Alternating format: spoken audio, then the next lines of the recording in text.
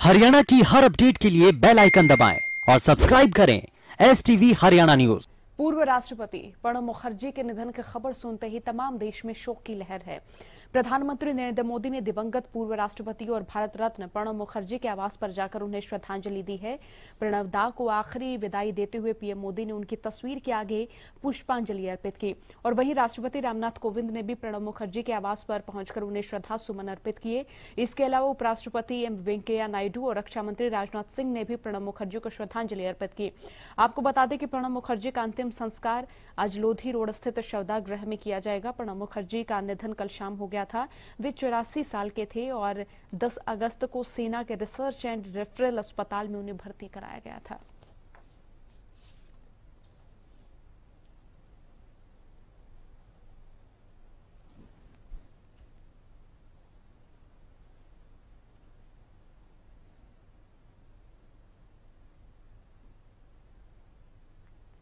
तो देखिए, चार तस्वीरें आपको दिखा रहे हैं। पहली तस्वीर रामनाथ कोविंद जो कि प्रणब मुखर्जी को श्रद्धांजलि देते हुए नज़र आ रहे हैं। उपराष्ट्रपति वेंकैया नायडू की दूसरी तस्वीर, तीसरी तस्वीर में आप पीएम नरेंद्र मोदी को देख सकते हैं और जो चौथी तस्वीर है रक्षा मंत्री राजनाथ सिंह।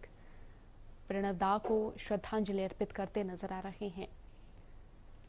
सात दिनों के राष्ट्रीय शोक का ऐलान किया गया है, और इसी के साथ ये भी बता दें आपको कि आज लोधी रोड स्थित शवदा गृह में उनका अंतिम संस्कार किया जाएगा। तो ये चार तस्वीरें तमाम दर्शकों को दिखा रहे हैं। प्रधानमंत्री नरेंद्र मोदी श्रद्धांजलि अर्पित करते नज़र आ रहे हैं।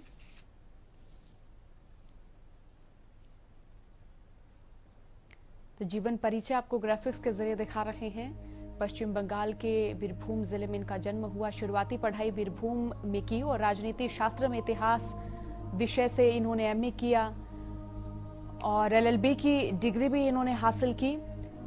पाँच बार राज्यसभा के लिए चुने गए। राजनीतिक सफ़र की शुरुआत उन्नीस सौ उनहत्तर में हुई इनकी। 1973 में केंद्रीय मंत्रिमंडल में शामिल कर लिए गए। राज्यसभा के लिए ये चार सालों में चुने गए।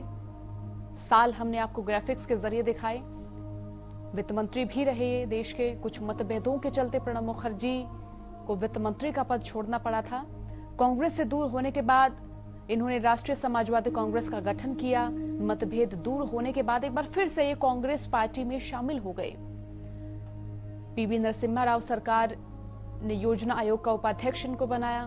बाद में विदेश मंत्री की ज़िम्मेदारी भी इन्हें दी गई। 2004 में चुनावी राजनीति में कदम रखा और लोकसभा के लिए निर्वाचित हुए। लोकसभा में जीतने के बाद उन्हें लोकसभा में सदन का नेता भी बनाया गया।